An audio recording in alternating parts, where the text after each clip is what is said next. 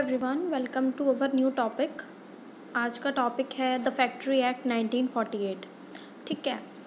आप सभी ने सुना होगा कि हम सेफ्टी मेंटेन करते हैं इंडस्ट्रीज़ में। जब भी जाएँगे आपको सेफ़्टी से रिलेटेड कुछ ना कुछ मिलेगा।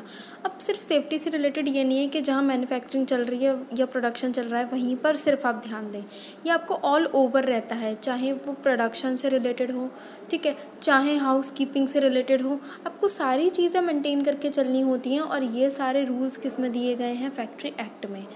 ठीक है, चाहे वो मशीन से रिलेटेड प्रॉब्लम हो, चाहे वो ऑक्यूपेशनल हेल्थ से रिलेटेड प्रॉब्लम हो, चाहे वो क्लीनली क्लीनलीनेस से रिलेटेड प्रॉब्लम हो, ठीक है? ये सारी चीज़ें किसमें बताई गई हैं? फैक्ट्री एक्ट में। इनके सेक्शंस दिए गए हैं, ठीक है? तो इन सेक्शंस के अकॉर्डिंग हमें फैक्ट्रीज़ में जो भी वर्क हो रहा है, उनके बारे में बताया गया जैसा कि यहाँ लिखा हुआ है कि हमको मिनिमम रिक्वायरमेंट्स इंश्योर करनी है वहाँ पे, ठीक है? जैसे कि हेल्थ पे ध्यान देना है, सेफ्टी पे ध्यान देना और फैक्ट्री वर्क पे भी ध्यान देना है, ठीक है? उनकी वर्किंग आवर्स पे ध्यान देना है, लीव्स पे ध्यान देना है, हॉलीडेज़ पे भी ध्यान देना है और एम्प्लॉयमेंट पे भी ध्यान देना है, ठीक है? कि आप किस तरीके के पर्सनस हायर कर रहे हैं, ठीक है? उसके साथ साथ देखिए, अब फैक्ट्री है, पूरा एक बड़ा सा ऑर्गेनाइजेशन है तो उसको संभालने के लिए भी तो चीज़ें होनी चाहिए ना। सेफ्टी पर अगर आप ध्यान देंगे तो सेफ्टी सेफ्टी किससे रिलेटेड है? ऑक्यूपेशनल हेल्थ भी उसी के अंदर आता है। ठीक है, जो बंदा आपके यहाँ काम कर रहा है, उसकी हेल्थ पर भी आपको ध्यान रखना है। इतनी सेफ्टी मेंटेन होनी चाहिए कि आपके खाने से लेके पानी पीने से लेके काम करने तक की चीज़ों में सेफ्टी होनी चाहिए। ठीक है तो ये फैक्ट्री एक्ट 1948 जो है, वो इसी को शो करता है कि आप किस तरीके से इंडस्ट्रीज़ में पूरी चीज़ें सिस्टमेटिक वे में बना सकते हैं और सेफ़ रख सकते हैं। तो इसी तरीके से जो फैक्ट्री एक्ट है, उसका एक चैप्टर है चैप्टर थर्ड जिसमें कि हेल्थ के बारे में मेंशन किया गया है। तो क्लीनलीनेस जो है, वो चैप्टर थर्ड के हेल्थ के अंदर सेक्शन एलेवन के अंदर आता है।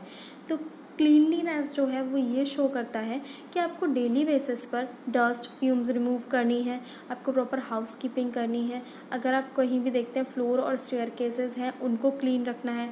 ठीक है, उन ध्यान देना है, वहाँ जो भी कोई स्टेयर केसेज है या नॉर्मल फ्लोर है स्लिपरी फ्लोर है तो आपको देना है, वहाँ कोई अनसेफ कंडीशन तो नहीं बन रही है। ऐसा तो नहीं पानी वहाँ फैला हुआ हो या कोई भी नुकीली चीज़ उस फ्लोर पर पड़ी हुई हो तो ये सारी चीज़ें भी आपको देखनी है।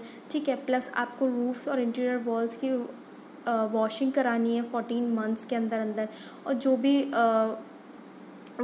जो भी मटेरियल है या फिर कोई इक्विपमेंट है जिसको आप वॉश नहीं कर सकते हैं तो उनकी, उन पर paint at least within three years और फाइव ईयर्स के अंदर अंदर आपको उनको पेंट कराना है, क्योंकि क्लीनिनेस इसी से शो होगी। अब मान लीजिए कोई इक्विपमेंट है, अगर आप पेंट नहीं करा सक, करा रहे हैं और वो ओपन एरिया में रखा हुआ है एक्सटिंग्यूशर ही ले लीजिए। अगर वो ओपन एरिया में रखा हुआ है, वैसे तो एक्सटिंग्यूशर्स ओपन एरिया में नहीं रहते शेडेड में ही रहते हैं ठीक है, मान लीजिए बॉयलर है या कोई भी टैंक्स वगैरह हैं जो आउटसाइड्स में रखे जाते हैं स्टोर किए जाते हैं, अगर वो पानी से भीग जाते हैं और उन पर जंग लग जाती है कॉरोजन लग जाता है तो हम क्या करेंगे? उनका पेंट करवाएँगे, है ना?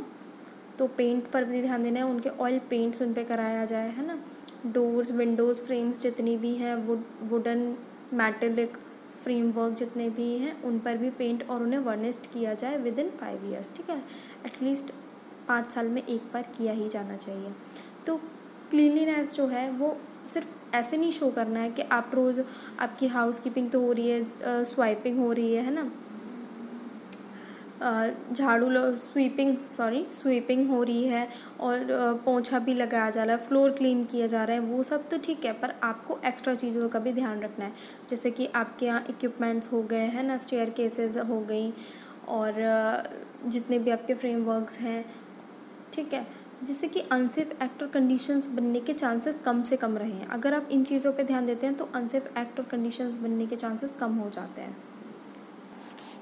नेक्स्ट देखिए, जो स्टेट गवर्नमेंट है, उनके थ्रू भी ये ऑर्डर्स दिए गए हैं। जब भी आपकी इंडस्ट्री में मान लीजिए ऑडिट हो रहा है, ठीक है? एक्सटर्नल ऑडिट हो रहा है और कोई ऑडिटर आता है चेक करता है फैक्ट्री इंस्पेक्टर आता है चेक करता है तो वो ये सारी चीज़ें देखेगा ही देखेगा। कि आपके यहाँ किस तरीके से मटेरियल जो है वो स्टोर किया जा रहा है और क्लीनलीनेस पे कितना ध्यान दिया जा रहा है, कितनी इफ़ेक्टिव है आपके यहाँ का सारा एटमोसफेयर और इन्वायरमेंट ठीक है? तो स्टेट गवर्नमेंट ने भी बताया गया है ऑर्डर दिया गया है कि फैक्ट्री एक्ट आपको फॉलो करना ही करना और फैक्ट्री एक्ट के अंदर ये सेक्शन एलेवन के अंदर जो ये क्लीनलीनेस आ रही है, उसमें ये सारी चीज़ें बताई गई हैं कि आप ड्रेनिंग सिस्टम से लेके ड्रेनेज सिस्टम भी चेक किया जाएगा ड्रेनेज आपका ऐसा तो नहीं जो ड्रेनेज सिस्टम आप कर रहे हो वो आ, किसी रिवर में या पॉन्ड में कर रहे हो तो इस तरीके से चेक किया जाता है। ठीक है? आपको पूरे इंडस्ट्री का तो क्लीनिनेस रखना भी है साथ में आउटसाइड यानी कि आसपास के इन्वायरमेंट का भी ध्यान रखना है है ना? क्योंकि फैक्ट्री एक्ट आपसे ये नहीं ये तो कहता ही है कि आपकी इंडस्ट्री पूरी सेफ़ रहे साथ में आपके आसपास का एटमोसफेयर जो है आपका आसपास का इन्वायरमेंट जो है वो भी सेफ़ रहे। ठीक है? तो टोटली फैक्ट्री एक्ट का जो मेन रीज़न है कि क्यों फैक्ट्री एक्ट लाया गया है? फैक्ट्री एक्ट 1948 में इसीलिए लाया गया कि पहले जो फैक्ट्रीज़ थी जितनी भी, उनमें इस तरीके से साफ़ सफ़ाई का, ना ही वर्कर्स का ध्यान दिया जाता था। इसीलिए फैक्ट्री एक्ट के अंदर मेंशन किया गया कि ये सारे टर्म्स कंडीशंस अप्लाई करना ज़रूरी है। अदरवाइज़ आपकी फैक्ट्री जो है वो वर्केबल नहीं रहेगी, काम करने योग्य नहीं रहेगी, ठीक है? क्योंकि फैक्ट्री एक्ट के अंदर इतनी सारी चीज़ें बताई गई हैं कि वो आपकी इंडस्ट्री को सेफ़ तो रख ही सकती है साथ में एम्प्लॉयज़ को भी सेफ़ रख सकती है, उनकी हेल्थ को भी सेफ़ रख सकती है और उनको कोई भी तरीके की डिसीज़ होने से भी बचा सकती है, ठीक है? पहले के टाइम पे क्या होता था, मान लीजिए कोई केमिकल यूज़ किया जा रहा है आपकी इंडस्ट्री में और उससे कोई बीमारी हो सकती है ऑक्यूपेशनल डिसीज़ हो सकता है तो उस चीज़ पे ध्यान नहीं दिया जाता था। पर अब क्या है, अगर आपके यहाँ कोई केमिकल यूज़ हो रहा है और उससे कोई ऑक्यूपेशनल डिसीज़ हो सकती है तो उस पर भी ध्यान बिल्कुल दिया जाएगा, है ना? तो फैक्ट्री एक्ट के अंदर यही बताया गया है और इसका सेक्शन एलेवन आज मैंने आपको बताया ही है कि क्लीनिनेस के बारे में बताया गया है कि आप किस तरीके से फ्लोर्स की स्टेयर केसेस की और उसके अलावा अदर इक्विपमेंट्स की कैसे आप देखभाल कर सकते हैं मेंटेनेंस कर सकते हैं और उसको सेफ़ बना सकते हैं और क्लीन क्लीन रख सकते हैं, है ना? तो ये आज मैंने आपको टॉपिक में बताया। फैक्ट्री एक्ट के बारे में हम पढ़ेंगे। ऐसे ही धीरे धीरे हम और सेक्शंस के बारे में भी जानेंगे कि इलेवन ने क्या कहा है। ठीक है? फोर्टीन में क्या कहा है? थर्टीन सारे तरीके के सेक्शंस हम एक एक बार पढ़ेंगे, है ना? क्योंकि ये मोस्ट इंपॉर्टेंट थिंग्स हैं। फैक्ट्रीज़ में ज़्यादातर ये पूछा जाता है। ठीक है? So thank you